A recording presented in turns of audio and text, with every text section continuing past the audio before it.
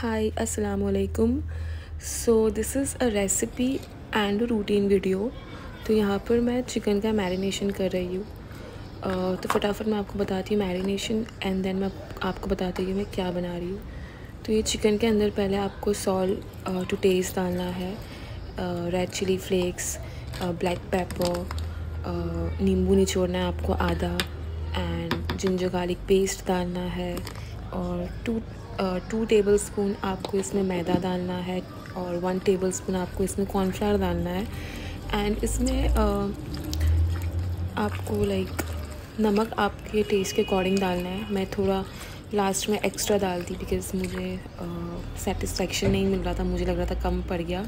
और यहाँ पर मुझे थोड़ा uh, जो मैरिनेशन है थोड़ा वाटरी लग रहा था तो मैंने और वन टेबल स्पून मैदा डाल दिया है। और इसके अंदर मैं ग्रीन चिलीज़ डाल रही हूँ कट करके। और कोरिएंडर लीव्स भी जाएगी अंदर। और ये हमारा मैरिनेशन यहाँ पर बनकर रेडी हो जाएगा। एंड uh, तो यहाँ पर मैं बना रही हूँ creamy cheese creamy cheesy chicken so this is a very मैं क्या बोल रही थी? ये रेसिपी बहुत ही ज़्यादा इजी है।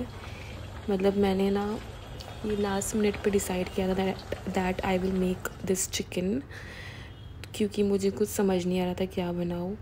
And I saw this recipe and फिर मैं लग पड़ी इस पर और यहाँ पर मैं चॉप कर रही हूँ ginger and garlic for the sauce of this chicken तो हम लोगों को पहले ये चिकन को अच्छे से पकाना है फ्राई करना है। तो पहले आप अपनी जो चिकन है, उसको ऑयल के अंदर डालो एंड चूल्हा आपने फास्ट रखना है। And when you put all the chicken in the pot तब आप चूल्हा स्लो कर दो और at least five to eight minutes इसको आप कुक करो ताकि ये सॉफ्ट एंड जूसी बन जाए। तो बाय द टाइम मेरी चिकन मैं साइड पर पका रही थी, यहाँ पर मैं डिस्ट्रीब्यूटिंग का काम चालू कर दिया। मैंने लाइक दही वड़े को पैक कर रही थी यहाँ पर और ये मुझे बांटना था नेबरहुड में, इसीलिए। तो ये रेसिपी वीडियो भी है और रूटीन वीडियो भी है क्योंकि मैंने तो ऐसे ही वीडियो क्लिक वीडियो मैंने निकाल लिया जैसे मैं काम करती हूँ वैसे। सो मुझे नहीं पता कि मैंने क्या क्या शूट किया एंड जब मैं एडिट करने बैठी तो ये मेरी जो क्लिप्स है, वो फोर्टी मिनट्स की क्लिप्स बन चुकी थी एंड उसको एडिट करना था मुझे। बहुत टाइम चला गया। लाइक फोर्टी मिनट्स में से मैंने एट मिनट्स की वीडियो यहाँ पर जो है कट करके ट्रिम करके यहाँ पर मैंने डाल दी है। एनी वे तो यर I was packing the packing the dahi vada for distributing और ये काम करके मैं साइड पे रख दूँगी। एंड अभी जैसे जैसे टाइम निकल रहा था लाइक निकल रहा है रमज़ान का तो इफ़ार की रूटीन थोड़ी इजी होती जा रही है। स्टार्ट में मुझे बहुत डिफ़िकल्टी हो रही थी टाइम मैनेज करने के लिए। अभी मुझे इजी पड़ता है। तो यहाँ पे मैं एक क्रीमी एंड चीज़ी सॉस बना रही हूँ। उसके लिए आपको लेना है half cup of fresh cream and fresh cream के अंदर आपको डालना है हाफ़ कप ऑफ़ मिल्क और ये आपको तैयार करके साइड रख देना है। देन अ पैन, उसके अंदर वन टेबल स्पून बटर डालो। मेरे पास वन टेबल स्पून नहीं था। बटर जितना था मैंने उतना डाल दिया एंड थोड़ा सा ऊपर से मैंने ऑयल भी डाल दिया है। ठीक है? तो आप भी ऐसा कर सकते हो। कोई बात नहीं। सब एक ही चीज़ होती है। अभी यहाँ पर मैं डाल रही हूँ अपने चॉप्ड गार्लिक और चॉप्ड जिंजर तो गार्लिक आप थोड़ा ज़्यादा यूज़ करो ताकि वो गार्लिक की फ्लेवर आए इसमें। तो इसको आपने गोल्डन होने तक पकाना है, ज़्यादा आपको ब्राउन नहीं करना है। आफ्टर दैट चूल्हा स्लो करो और ये जो क्रीम और मिल्क है, वो डाल दो पैन के अंदर। ठीक है? फिर उसको आपको अच्छे से कंबाइन करना है जो क्रीम है उसको।